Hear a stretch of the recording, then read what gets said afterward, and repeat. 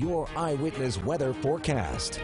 Good evening, meteorologist Dan Maslowski here with your checking on the weather. We are live at the Oneida County Fair. Absolutely gorgeous weather outside, mostly sunny skies, temperatures in the 70s, and just a very light breeze. We'll have mainly clear skies as we head into tonight with those low temperatures in the 50s, and as we head into tomorrow, temperatures a little bit on the cooler end in the 70s with mostly sunny skies expected throughout the day. Now, we have a little bit of a surprise here. We're joined by Terry DiNitto from DiNitto Farms in Marcy, New York. Now, I know it's been pretty hot recently, so does that affect the cows in any way? It does. Their production will go down when it's really hot, but the farmers around here do a great job with fans, with misters. We, we really want to try to keep them as cool as we can.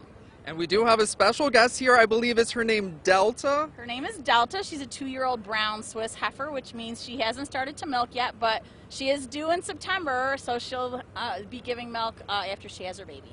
Awesome. Well, thank you so much. And guys, definitely, if you want to check out the Oneida County Fair, you can definitely come here, check out the cows, check out all the cool attractions that they have here, and taking a look at your seven-day forecast, we're going to be seeing those temperatures in the 70s tomorrow, 80s as we head later into this weekend with mostly sunny skies, so plenty of sunshine. We do have some showers and thunderstorms in the forecast as we head into the start of next week on Tuesday with temperatures in the lower 80s there. We actually get into the low and mid 90s as we hit Thursday with with partly cloudy skies and a couple of showers and thunderstorms expected on Friday as well. But for now, live at the Oneida County Fair, meteorologist Daniel Maslowski.